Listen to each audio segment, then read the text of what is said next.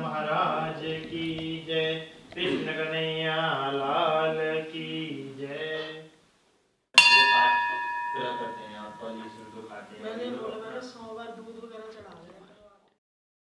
Uh, my name is Ankit Patel from the Hutt Valley, born and bred, uh, and I'm in my sixth year of study at Victoria University of Wellington, completing an honours degree in statistics and operations research.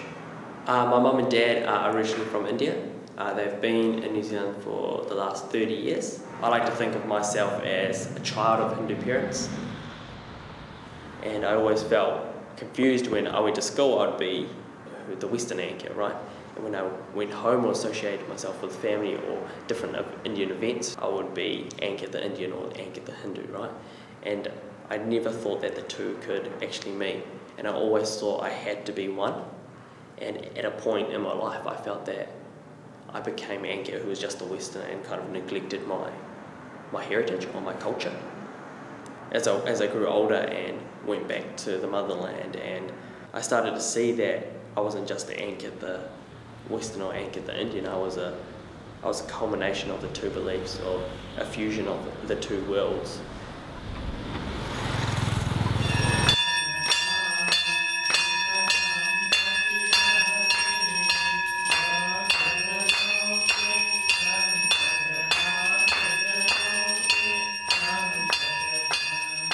I wouldn't like to call Hinduism a religion and from, from my point of view. I actually think it's a categorization of maybe uh, philosophical or intellectual point of view. So there's no rigid code or set of beliefs that everyone has to follow.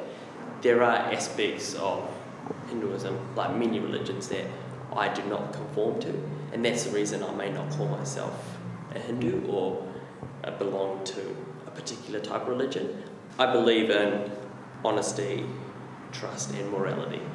Hinduism does have an aspect of that.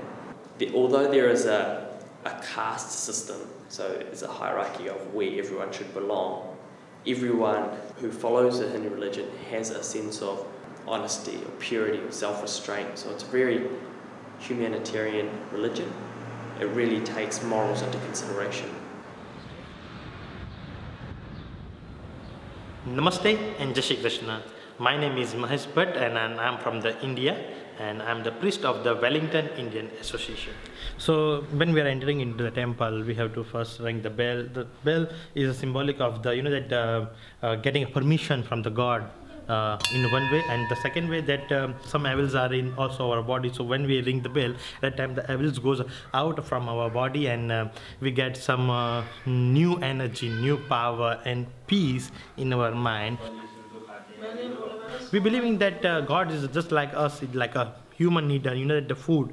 So the same way we are believing in that uh, as you need uh, your primary basic things in your whole day. And that way we are also offering the fruits and nuts and sweets and all to the gods because of we believe that uh, god even needs the food and the gods are going to eat this food.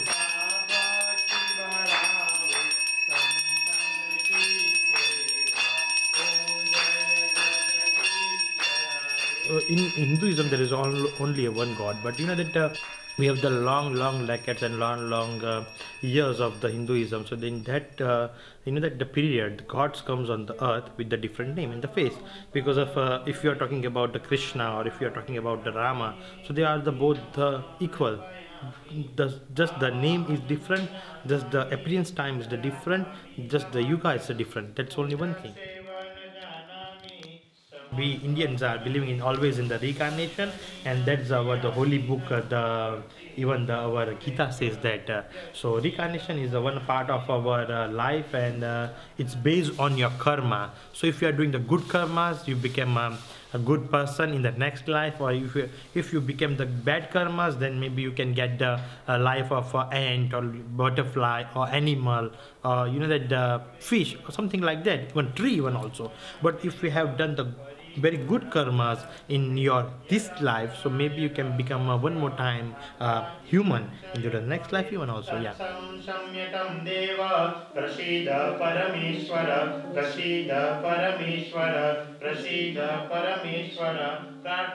All religions have characteristics which are all linked and so even though you may not be a Hindu or you may not be a Christian if you take all the religions into consideration, there are aspects of it where you're like, well, all, all these religions are some in some way connected.